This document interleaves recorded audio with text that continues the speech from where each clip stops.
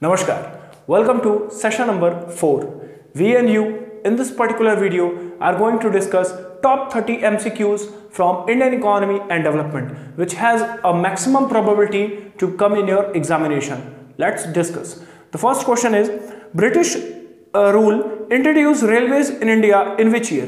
The answer will be 1853. 1853 में अंग्रेज़ों ने रेलवे हमारे यहाँ लगाई थी The second question is the opening of Suez Canal served as a direct route for ships operating between uh, which countries? Which two countries? Answer लिखेंगे India and Britain. And in which year Suez Canal was opened? The year was 1869. The third question is which year is described as a year of great divide? The answer will be 1921.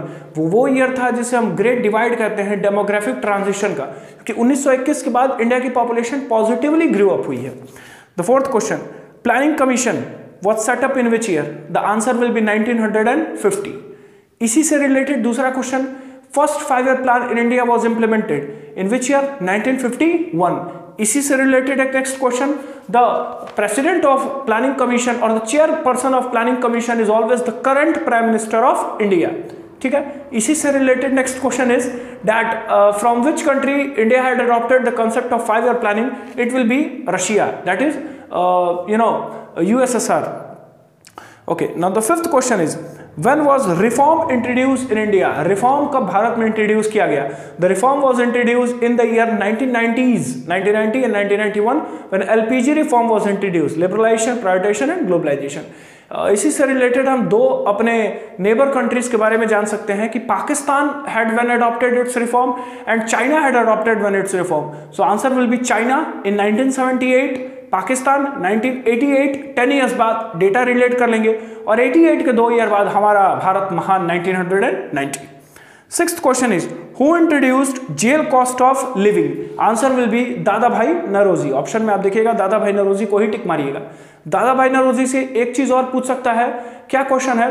That who has you know tried to estimate the poverty estimation in the British period first that is also Dadabhai Naoroji मतलब अंग्रेज़ों के समय में सबसे पहले किसने poverty का आकलन किया था तो Dadabhai Dadabhai Naoroji and whose estimation was appropriate तो वहाँ आंसर देंगे V K R V Rao हालाँकि मैंने इससे रिलेटेड वीडियोस बनाई है इंडियन इकोनॉमी के फ़र्स्ट एंड सेकंड चैप्टर की. आप मेरे चैनल पर जाके उसे व्यू कर सकते हैं. It will surely help you six seventh question is in which year national food for work programme was launched national food for work programme किस ईयर में लॉन्च किया गया? आंसर लिखिएगा वहाँ 1970 several options will be given you have to take out 1970 eighth question what is informalization of workforce informalization of workforce क्या होता है? अगर शॉर्ट क्वेश्चन में आपसे पूछता है तो you have to write that there is a shifting of casual workers and regular salaried employed in the you know casualization of workforce. So, that will be called as an informalization of workforce.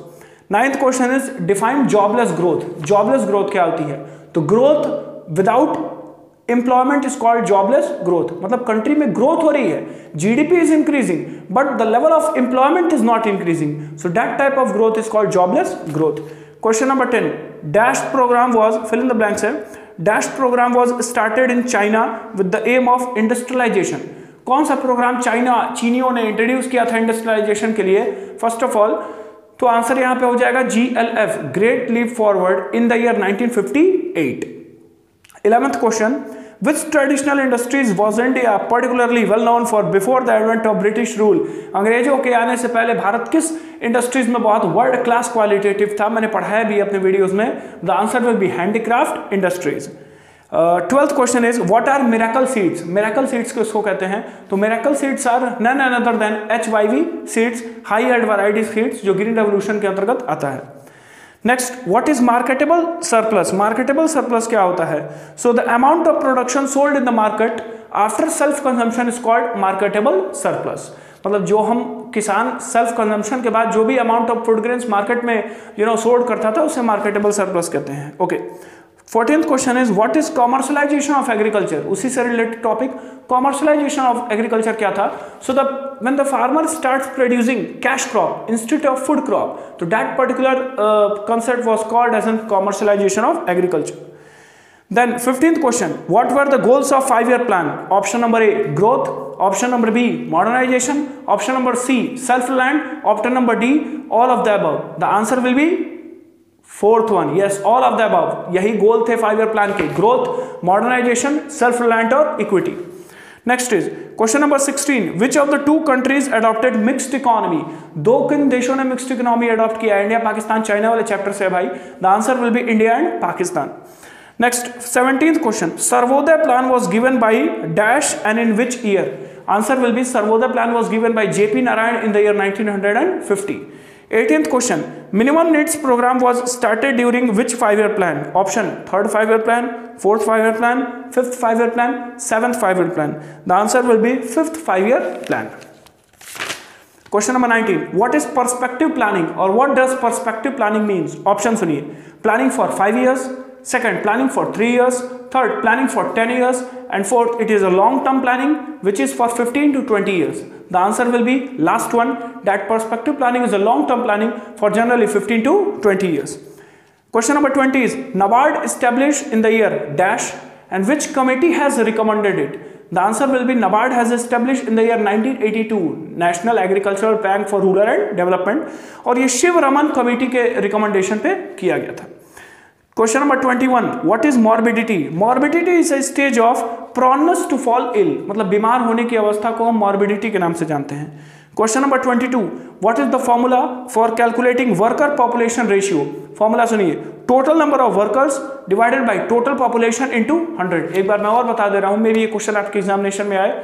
Total number of workers divided by Bharat की total जनसंख्या, यानी total population into 100 question number 23 micro credit programmes provision credited by micro credit programme जो है वो किसके द्वारा initiated या किसके द्वारा क्रेडिट किया जाता है? Option self help group NGO commercial bank RRB the answer will be first one self help group question number 24 एक कोटेशन है, ठीक है? ये किसके द्वारा दिया गया है? कोटेशन सुनिए। सुनिए।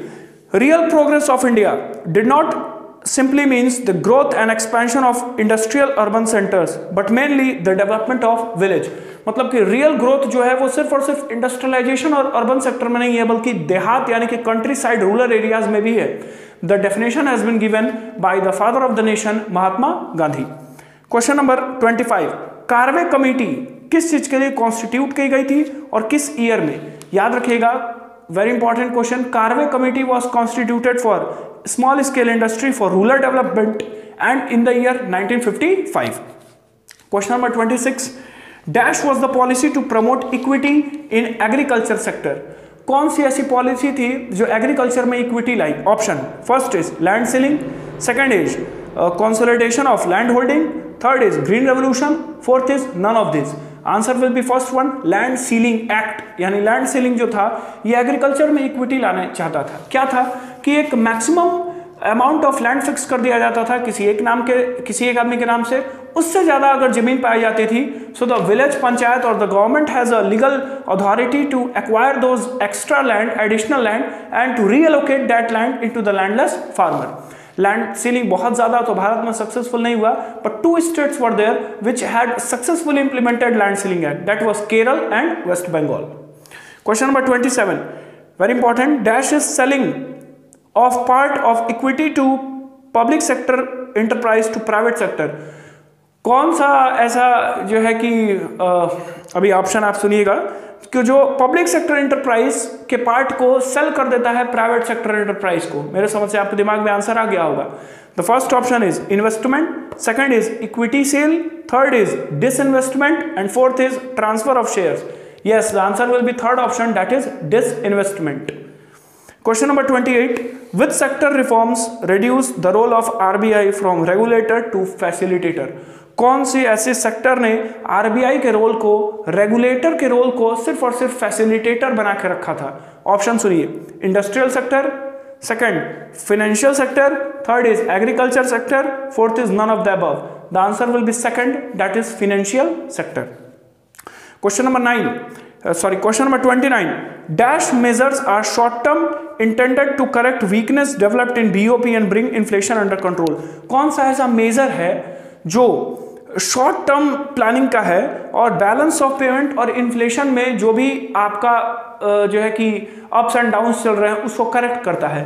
The answer will be stabilization measures okay याद रखिएगा थर्ड चैप्टर का है it is very important and the last question thirty is India approach dash to manage economic crisis in 1991 option सुनेंगे first is World Bank second is IMF third is UNO fourth is both A and B the answer will be World Bank yes World Bank तो है World Bank के साथ IMF भी है.